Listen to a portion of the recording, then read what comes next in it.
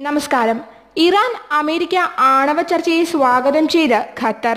ഇരു രാജ്യങ്ങളും തമ്മിലുള്ള ചർച്ചയ്ക്ക് ആവശ്യമായ എല്ലാവിധ സാഹചര്യങ്ങളും ഒരുക്കാൻ തയ്യാറാണെന്ന് ഖത്തർ വിദേശകാര്യ മന്ത്രാലയം വ്യക്തമാക്കി.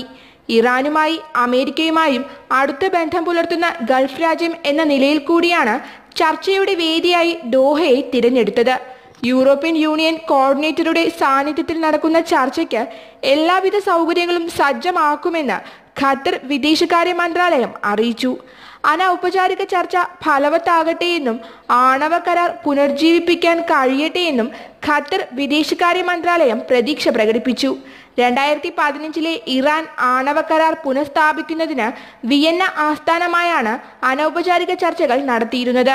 പതിനൊന്ന് മാസമായി നടന്നു വന്ന ചർച്ച എങ്ങും എത്തിയിരുന്നില്ല. പുതിയ വേദിയായ ദോഹയെ കഴിഞ്ഞ ദിവസമാണ് പ്രഖ്യാപിച്ചത്.